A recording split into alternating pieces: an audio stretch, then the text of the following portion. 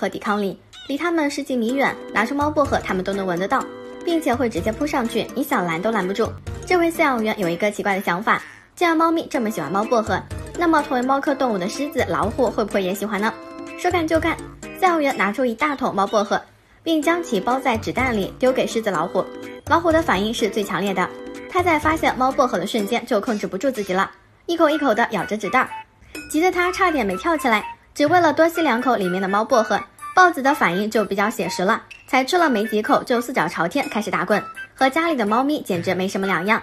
就差张口喵喵求摸了。还有两只猞猁为了争抢猫薄荷打了起来，果然只要是猫科动物就对猫薄荷没有任何抵抗力，管你周围有没有人，我先打了滚再说，这也是它们的天性。猫薄荷对于它们来说实在是太吸引人了，如果你去动物园的时候身上带上一包猫薄荷，没准会受到老虎们的特殊对待。好啦，本期视频就到这里，喜欢的话不妨点个关注，咱们下期再见。